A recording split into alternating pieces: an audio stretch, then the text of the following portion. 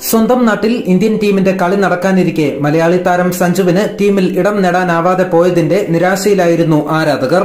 എന്നാലിതാ ഇന്ന് ചെന്നൈയിൽ തകർപ്പൻ ബാറ്റിംഗുമായി ഇന്ത്യയുടെ രക്ഷകനായി മാറിയിരിക്കുകയാണ് താരം. വീഡിയോയിലേക്ക് പോകും മുമ്പ് പുതിയ ക്രിക്കറ്റ് വാർത്തകൾ അറിയാനായി ഈ ചാനൽ ഇപ്പോൾ തന്നെ മറക്കാതെ സബ്സ്ക്രൈബ് ചെയ്യൂ. ന്യൂസിലാൻഡ് എ ടീമിനെതിരെ ഇന്ത്യ എ ടീമിന് വേണ്ടി മികച്ച ബാറ്റിംഗ് പ്രകടനം പുറത്തെടുത്ത് മലയാളി താരം സഞ്ജു സാംസൺ. ഇന്ത്യ എ ടീമിന്റെ നായകൻ കൂടിയായ സഞ്ജു ഈ അടുത്തായി സ്ഥിരതയാർന്ന ബാറ്റിംഗ് ആണ് പുറത്തെടുക്കുന്നത്. സീനിയർ ടീമിൽ അവസരം നിഷേധിച്ചതിന് പിന്നാലെയാണ് സഞ്ജുവിനെ ഇന്ത്യ എ ടീമിന്റെ നായകനായി പ്രഖ്യാപിച്ചത്.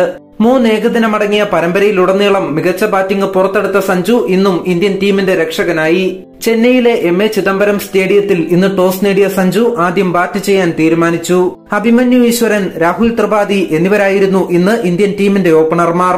മുപ്പത്തൊമ്പത് റൺസെടുത്ത് അഭിമന്യു പുറത്തായതോടെ മൂന്നാമനായാണ് സഞ്ജു ക്രീസിലേക്ക് വന്നത്. സഞ്ജു എത്തിയതിന് പിന്നാലെ പതിനെട്ട് റൺസുമായി ത്രിപാഠിയുടെ വിക്കറ്റും വീണു. എന്നാൽ പിന്നാലെ എത്തിയ തിലക് വർമ്മയെ കൂട്ടുപിടിച്ച് മലയാളി താരം ഇന്ത്യയെ മുന്നോട്ട് നയിച്ചു. ഇരുവരും ചേർന്ന് തൊണ്ണൂറ്റിയൊൻപത് റൺസിന്റെ കൂട്ടുകെട്ടും നേടി. പിന്നാലെ അറുപത്തിരണ്ട് പന്തിൽ അൻപത് റൺസുമായി തിലക് വർമ്മ മടങ്ങി. എങ്കിലും സഞ്ജു ഒരു വശത്ത് ഉറച്ചു നിൽക്കുന്നുണ്ടായിരുന്നു. ഒൻപത് റൺസുമായി ശ്രീകർ ഭരത്തും മടങ്ങിയെങ്കിലും വെടിക്കെട്ട് ഇന്നിംഗ്സിലൂടെ സഞ്ജു അപ്പോഴേക്കും അർദ്ധ സെഞ്ചുറി പൂർത്തിയാക്കിയിരുന്നു.